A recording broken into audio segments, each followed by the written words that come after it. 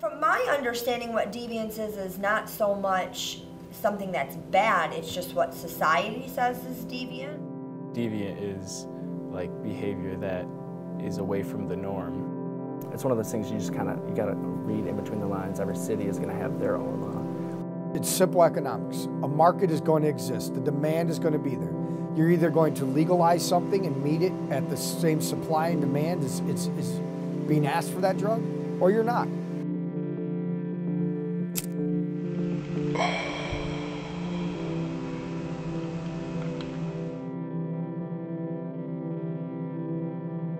I learned a lot about um, marijuana, just the di- just different um, aspects of it that I guess I really never thought of. I mean, I'm I'm personally not for legalizing marijuana, but when we had the speaker come in and talk about how it should be decriminalized, um, I learned a lot. Tovelmeyer, uh, he seemed like a, he was really energetic, he was a nice guy, and he spoke about how people get arrested for smoking weed, and even with the littlest bit, it can, it'll go on their record for like two years, I think he said. So then these people become criminals for going after a natural demand that no one can deny. That demand has been there since the beginning of time, way before UI or anybody who's alive now. Obviously, you receive a legal prescription, you use it according to the prescription, not a problem. What often occurs is the uh, person who's prescribed those drugs use them in excess, uh, become dependent or addicted to them. Um, sometimes uh, other people who are associated with them get uh, access to those prescription drugs and use them improperly and illegally.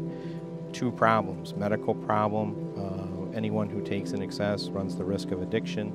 Uh, that has additional uh, problems, both medically, cost wise, uh, rehabilitation, um, insurance costs, etc. I didn't. I guess I never really thought about. Yeah, should we ruin someone's life because they have a tiny little bit of marijuana on them?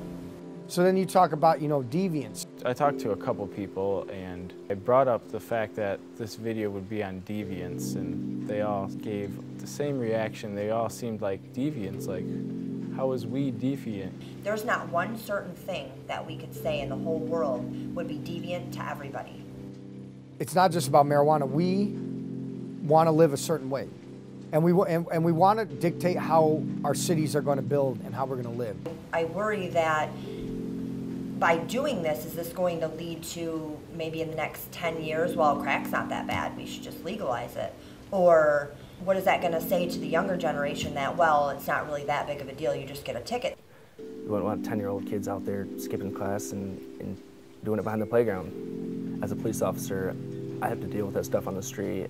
They don't dictate policy, they enforce it. And for a lot of police, they're just going to arrest people because that's the law. Possession uh, of any of those types of prescription drugs could be anywhere from a two-year felony offense to as high as a um, seven-year felony offense just for possession. If you share those prescription drugs with someone or even give them away or uh, trade them in exchange for anything, not just money, uh, then the penalties get quite severe. It could be anywhere from a four-year felony up to a 20-year felony just for sharing those prescription drugs. And decriminalizing is, isn't always a bad thing. You're going to find a lot of it out there.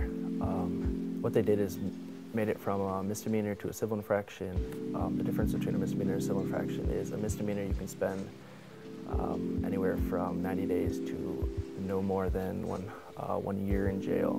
Which costs taxpayers, you know, all kinds of money to, to house people in jail for something as small as, as a, not even $5 worth of marijuana. If they get caught with it, then their college might be over because their loans could get taken away and they might not be able to get a job too after that. So now you have a felony record, certain uh, things go with that. Lack of ability to get jobs, lack of lo federal loans because of felony convictions or drug convictions. So it's, it's a double-edged sword. I think crime will go down in the sense that you're not arresting, you know, a typical Ferris State student for a joint. You're not arresting some hipster for a $5 bag of weed. So yeah, arrest rates will go down, which would lower crime.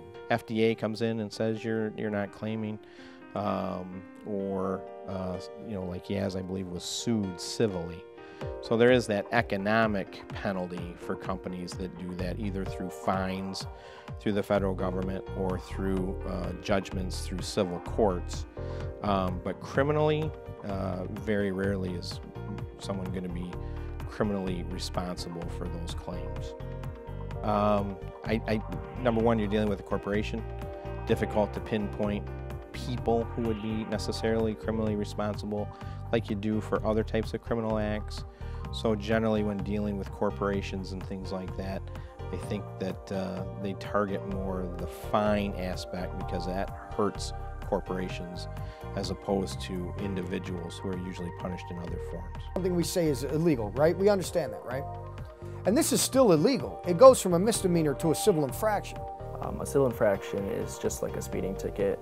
You're just going to get a ticket, you're going to pay a small fine, um, and it's not going to weigh as much on your, uh, your record as a, a misdemeanor would. Legally, anyone who is in possession or who has used a prescription drug improperly is considered a crime. And in the state of Michigan, most offenses for illegal use of prescription drugs are felony offenses. Someone taking a Vicodin pill and smoking weed necessarily dangerous to society? Are they contributing to the disruption of society? Is this something criminal justice system should take care of? Or is this something that maybe they need moral support from their family or they need medical support from their healthcare physician? If you are not prescribed those uh, particular drugs, um, or you know you're in possession of, of those that are not prescribed to you, that's where the law in terms of prescription drugs is broken. It's too harsh of a punishment for people. I think it, I think it could be for the better. I just don't see locking them in a cage as a helping society by any means. It's like alcohol.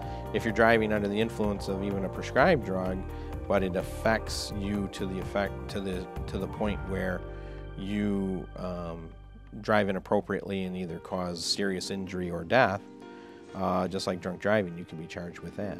Operating under the influence of a controlled substance, causing serious injury or death. And that's a five year or a 15 year felony. It's just taking up time in the courts, and they just want to make it a slap on the wrist and focus on other things.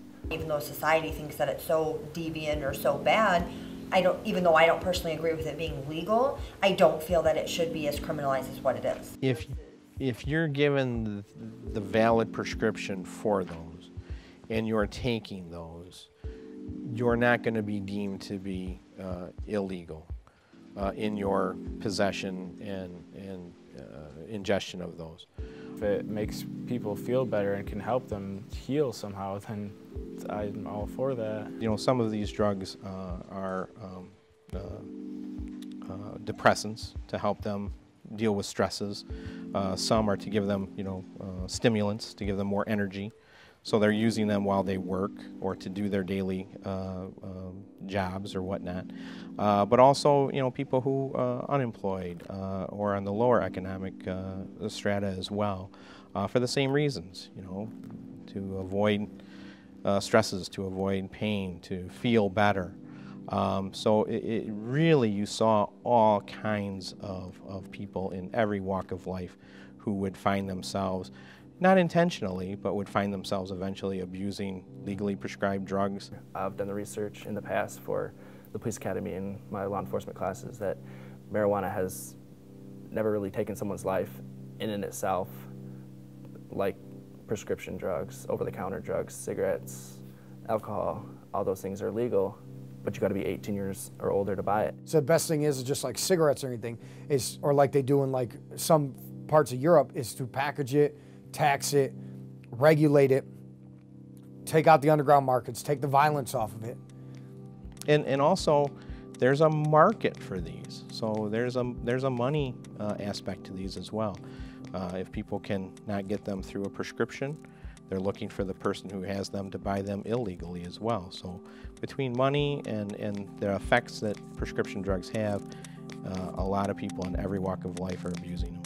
And in America, at least one thing we have is the fact of the matter is if we can stand up and we can we can vote and we can petition, you can do it. And I encourage people to take a little bit of time out to really push their community. Not only will they feel well internally that they're helping their community and they're building towards what they want, but they are helping change the future.